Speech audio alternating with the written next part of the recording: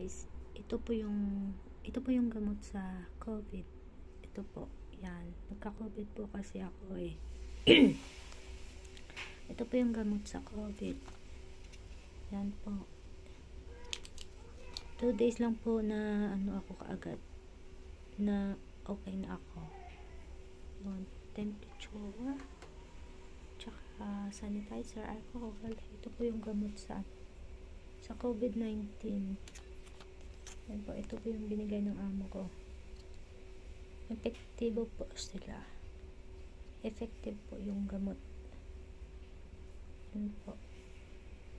For sa isang inom, apat po. 3 times a day. Every 6 hours. Yan po. Ano ba yung pangalan na to? Lingwa. Lingwa. Yan po. Epektibo po ito sa COVID-19. Thank you for watching. Tsaka yung